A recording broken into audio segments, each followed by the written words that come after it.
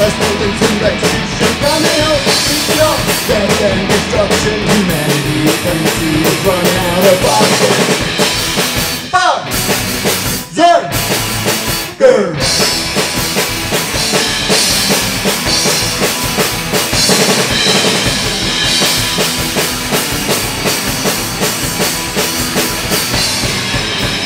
Running wild, wherever I